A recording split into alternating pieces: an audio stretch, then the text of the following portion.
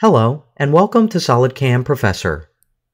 In this brief See Me video, I'd like to walk you through the download and extraction process for the 2012 SolidCAM iMachining Getting Started Guide, a new and exciting style of interactive documentation.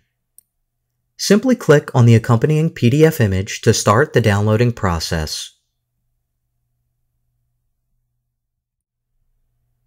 After the download completes, navigate to your Downloads folder, or whichever location you choose to save your downloaded files.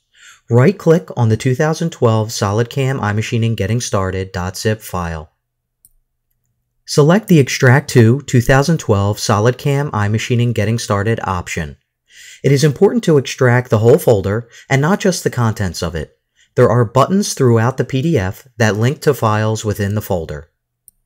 After the extraction has completed, you may move and store the folder anywhere you would like on your machine.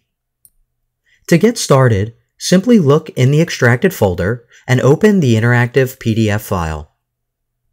To see a video on how to use this interactive guide, please go to the introduction in Chapter 1.